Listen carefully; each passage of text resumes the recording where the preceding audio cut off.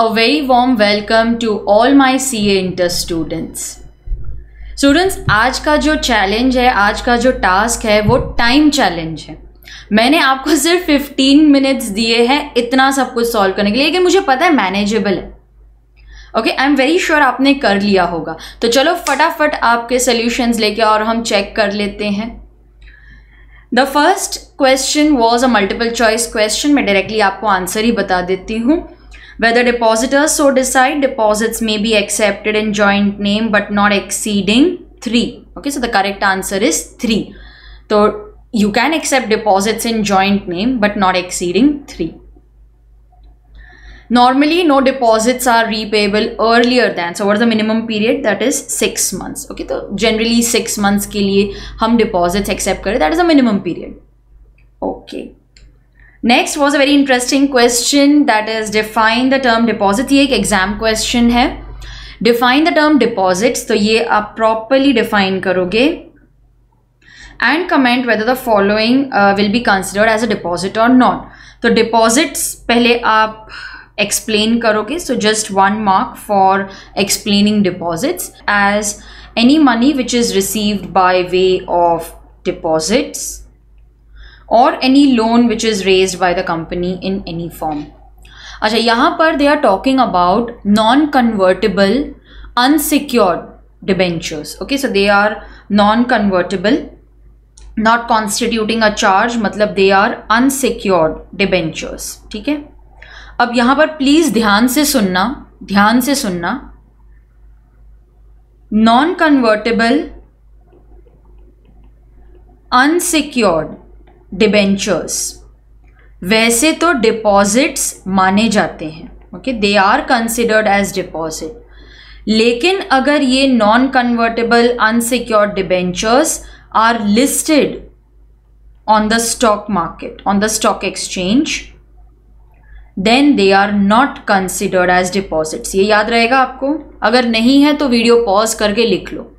If the debenture is non convertible and unsecured then it is generally considered as a deposit लेकिन अगर वही non convertible unsecured debenture listed है on the stock exchange जैसे ये case में then it will not be considered as deposits ठीक है? ये आपको ध्यान में रखना है, इसीलिए मैंने ये क्वेश्चन यहाँ पर डाला है कि अगर आपको ये पॉइंट्स नहीं पता है तो आप इस वीडियो के द्वारा पॉइंट्स पता हो जाएँगे आपको।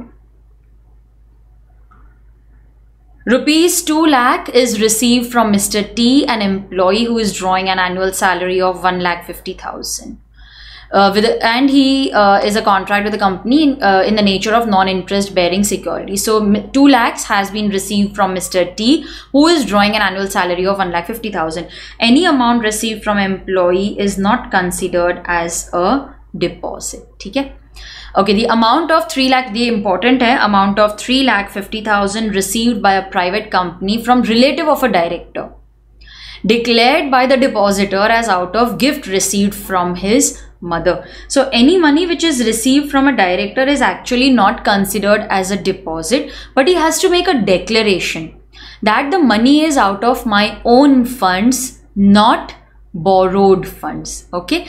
So here any money which is received by the director or relative will not be considered as deposit provided. So this is the requirement. The director furnishes a declaration. This is very important in writing that the amount is from his own funds and not borrowed funds okay? So here since he has received that money and he has also declared it is received as a gift it will not be considered as deposit.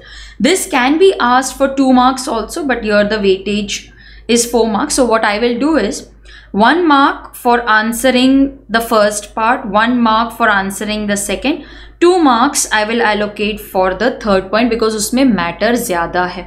You have to write that the declaration is in writing and what is to be written in the declaration that the money is out of his own funds and not borrowed funds this will also be disclosed in the board's report okay so declaration, writing, own funds and not borrowed funds. Okay, so half mark for this, half mark disclosure in the board's report. The third question is that the company has passed in its general uh, general meeting a resolution regarding acceptance of deposits from members. Can the company accept deposits from members? If yes, state the conditions to be fulfilled. I had discussed this question in detail in one of my revision videos. So please go through that video I am putting a link in the description box वहाँ पर मैंने आपको क्या points लिखने चाहिए उसका explanation marking scheme सब बताया था so please go and watch that video so that was task five ना what is task six Task six के लिए you will study registration of charge now students मेरे हिसाब से इस चैप्टर में क्वेश्चन इस चैप्टर में से क्वेश्चन आएगा।